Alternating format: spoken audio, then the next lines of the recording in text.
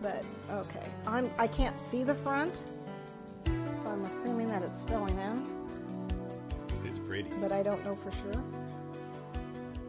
Yeah, you've got lots of flowers spilling out over the top. Okay, and then any place you have spaces left, you're gonna take these guys, just break the, and I use tweezers to help me, Nice. you know, and you can push them in to fill in any spots that need to be filled in. Okay. Spaghetti skewers. Yeah, spaghetti skewers, and I can't really see what I'm doing here, so you're just gonna have to go with me. I'll adjust it later on Why start now? when I'm off camera. Really, I'll adjust it when I'm off camera. Yeah, that purple really. Yeah, it makes it together. pop, That yeah. really looks nice. And if you want, you can add little tiny white flowers to it. You know, just if any other spaces that need little fill-ins.